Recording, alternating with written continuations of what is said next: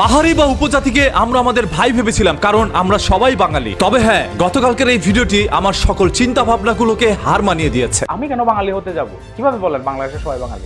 আমাদেরকে বাঙালি বানাতে চাইয়াই তো আপনারা পেঁচটা লাগা বাংলাদেশের আয়তনের মধ্যে যা কিছু আছে সবই বাংলাদেশের। তবে বাংলাদেশের কোনো একটি অঞ্চলের মধ্যে কিছু সংখ্যক মানুষ এসে যদি বলে না এটা বাংলাদেশের বাইরের জায়গা আর আমরাও কে বাঙালি না? তাহলে সেইটা কীভাবে বাঙালি মেনে নিবে? আমাদেরকে যে বাঙালিত্ব চাপিয়ে দেন আপনারা আমাদেরকে যে বাঙালি বানাতে চান আপনারা প্যাচটা তো আপনারাই লাগান আমরা না। আপনি একটি কথা বারবার বলছিলেন পাহাড়ি বা উপজাতিদের নিয়ে যদি কোনো কথা বলতে হয় তাহলে তাদেরকে নিয়ে রিসার্চ করুন। আমাদের পাহাড়ি কিংবা আদিবাসীদের সম্পর্কে কথা বলতে গেলে যে স্টাডি করতে হয় সেটা আপনি করেন না। আসুন একটু রিসার্চ করে আসি। উনিশশো একাত্তর সালে যখন আমাদের বাংলাদেশ স্বাধীন হয় তখন এই লাল সবুজের পতাকা অর্জন করতে গিয়ে হাজার হাজার মা বোনের ইজ্জত হরণ হয়। লক্ষ লক্ষ মানুষ প্রাণ দিয়ে রক্তের বিনিময়ে অর্জিত করেছিল আমাদের এই লাল সবুজের পতাকা আমাদের এই বাংলাদেশ। স্বাধীন সেই দেশের মধ্যে হঠাৎ করে কোথা থেকে এসে পড়েন আপনারা? আমাদের এই স্বাধীন বাংলাদেশের মধ্যে আপনাদেরকে জায়গা করে দিয়েছিলাম আমরাই বাঙালিরা। যেভাবে এখন জায়গা করে দিয়েছি রোহিঙ্গাদের। ধরেন এই আমার স্টুডিওর মধ্যে অনেক জায়গা রয়েছে এখানে একজন মানুষ এসে বলল ভাই আমাকে একটু জায়গা দেন। আমি বললাম যেহেতু আপনার কোনো জায়গা নেই ওই কোনাটার মধ্যে আপনি বসবাস করেন। কিছুদিন পরে সেই লোকটাই বলতেছে ভাই এই জায়গাটা তো আমার এই জায়গাটা আমার নামে রেজিস্ট্রেশন করে দেন। যেহেতু আপনারা নিজেরা নিজেদেরকে বাঙালি হিসাবে বলছেন না সেহেতু বাংলাদেশের সরকারের কাছে কেন বলছেন জমিটা রেজিস্ট্রেশন করে দেন। আপনারা নিজেরাই তো সেটা রেজিস্ট্রেশন করে নিতে পারতেন। আমরা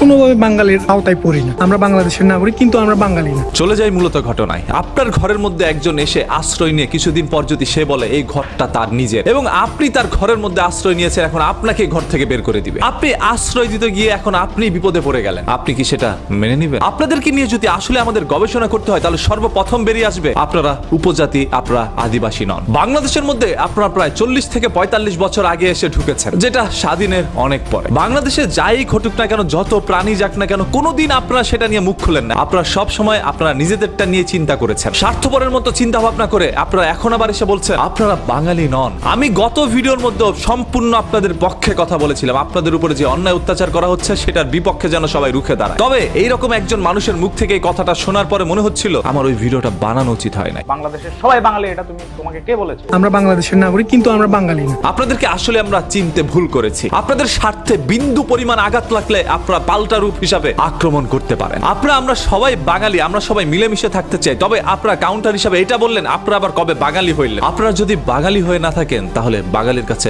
সাহায্য চাইতে আইসেন না। বাংলাদেশের এক ইঞ্চি জায়গার জন্য যদি হাজার হাজার লক্ষ লক্ষ মানুষ রক্ত দিতে পারে, হাজার হাজার মা বোনের ইজ্জত দিতে পারে, তাহলে মনে রাখবেন, বাংলাদেশের কোনো অঞ্চলকে আমরা জুমল্যান্ড বানাতে দিব না। আপনারা সেখানে চিচিং আর্মি থেকে শুরু করে চিচিং পাক যত ধরনের আর্মি নিয়ে আসেন না কেন, আমরা বাংলাদেশের জনগণই যথেষ্ট সেই সবকিছুর প্রতিরোধ করা। আর বাংলাদেশের আর্মির কথা বাতি দিলাম। আমরা আপনাদেরকে ভাই হিসাবে আখ্যায়িত করেছিলাম, তবে আপনারা আমাদেরকে শত্রু হিসাবে আখ্যায়িত করলেন। আপনাদের বিপক্ষে এক লাইন কথা বলতে গেলে আপনারা আমাদের মান, ইজ্জত সবকিছু হরণ করার চেষ্টা করেন। আপনারা যদি আসলে বাংলাদেশি হইতেন, তাহলে বাংলাদেশের আইন শৃঙ্খলা বাহিনীদেরকে মেনে তারপরে চলতেন। নিজেরাই নিজেদের আইন শৃঙ্খলা বাহিনী বানাইতেন না। আপনাদের অসংখ্য আইন শৃঙ্খলা বাহিনী আছে, যেগুলোর নাম বলতে গেলে শেষ করতে পারব না। আপনাদের মানুষগুলোই কিন্তু আবার অস্ত্র নিয়ে বের হয়েছে, যেই সকল অস্ত্রগুলো আমাদের বাংলাদেশ পুলিশের কাছেও নাই। সেই সকল অস্ত্রগুলো নিয়ে প্রতিহত করতে এসেছে আমাদের বাংলাদেশ সেনাবাহিনীকে, আমাদের বাংলাদেশের নাগরিক।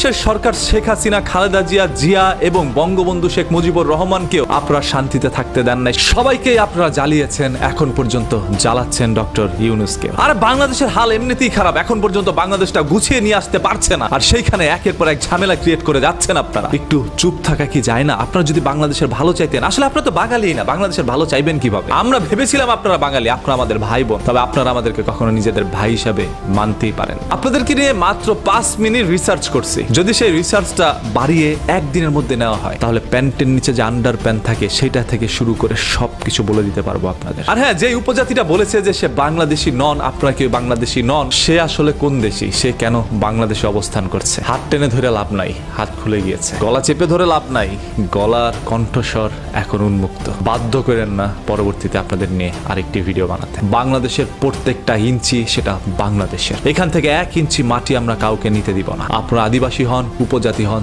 যারাই হন না কেন, বাংলাদেশে থাকতে হইলে মনে রাখবেন আপনিও একজন বাঙালি। আমরা চাই আপনারা শান্তিতে থাকেন, ভালো থাকেন। এরপরও বেশি বাড়াবাড়ি করলে আর কি করব রে ভাই? পরবর্তীতে ভিডিও বানাইতেই চাই।